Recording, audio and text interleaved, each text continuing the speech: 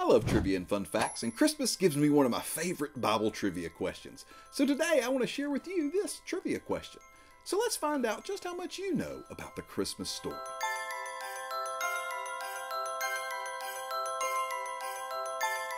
Welcome, explorers, and if you are making a list of the most famous Bible stories in all of Scripture, such as creation, Noah and the flood, David and Goliath, the crucifixion and resurrection, well, you are not getting too far down that list before you reach the birth of Jesus. The Christmas story, the Nativity, it is without question one of the most famous Bible stories. I mean, this time of year, every year, we tell and retell this story. If you have been in church over the past month, I imagine your pastor has mentioned the shepherds from Luke 2 or the wise men from Matthew 2, or maybe you have one of those offbeat pastors that have preached John 1 and talked about Jesus being the eternal Logos who became flesh and dwelt among us. I imagine you have heard, read, or told parts of the Christmas story this year. I even imagine if you have not been in church, you have come across the Christmas story on TV, in nativity scenes, or some other chance crossing this year. We know this story well. So let's see if you can answer this simple question. I'm going to list four things, and all you have to do is tell me which are not found in Matthew, Luke, or John's nativity story. Bonus fun fact the Gospel of Mark begins with the ministry of John the Baptist. So again, I'm going to list four things, and all you have to do is tell me which are not found in the Bible. Here we go. First, a donkey. Is there a donkey in the Christmas story? Second, a camel. Is there a camel in the Christmas story? Third, an innkeeper. Is there an innkeeper in the Christmas story? And fourth, a stable or a barn. Is there a stable in the Christmas story? So here are those four things again donkey, camel, innkeeper, and stable. Do you have the answer? Have you shouted out which are not in the Bible? Well, if you said donkey, that is correct. That is correct. And if you said camel, that is also correct.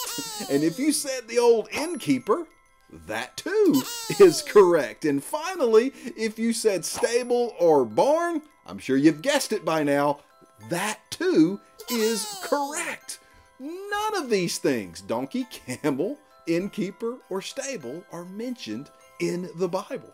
And so often, Mary is pictured riding a donkey, and the wise men are pictured with camels, but the Bible does not mention any animals with Mary or the wise men.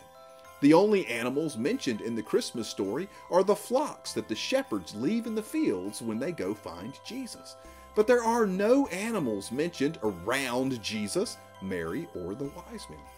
So there is no donkey or camel mentioned in the Christmas story. Then there's the old innkeeper. Luke does tell us there is no room in the inn, but it's just stated as a fact in Luke.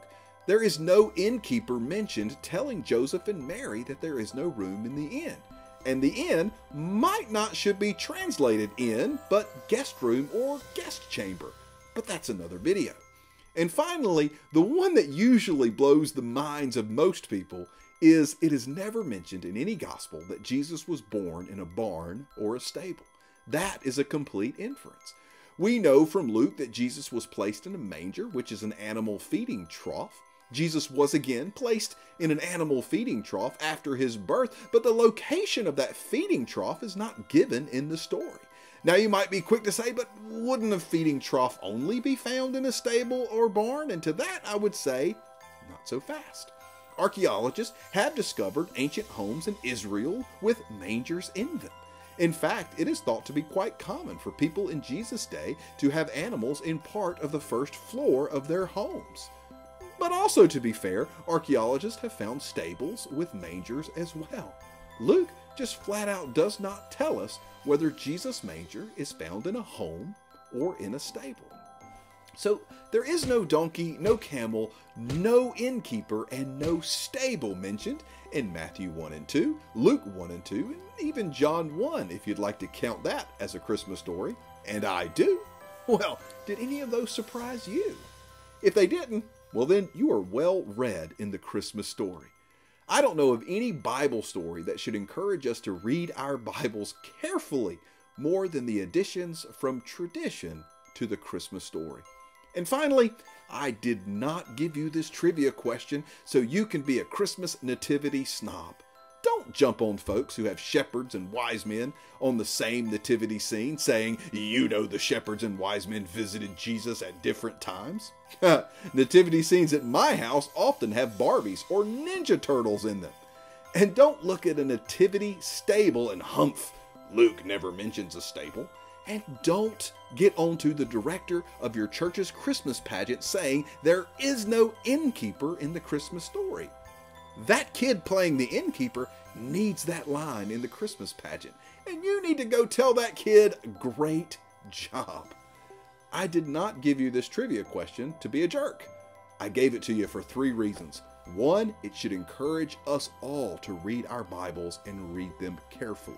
Two, it's a great question. And three, to impress your friends at Christmas parties. Merry Christmas, and thanks for watching. My bibliography is in the description below. Be blessed.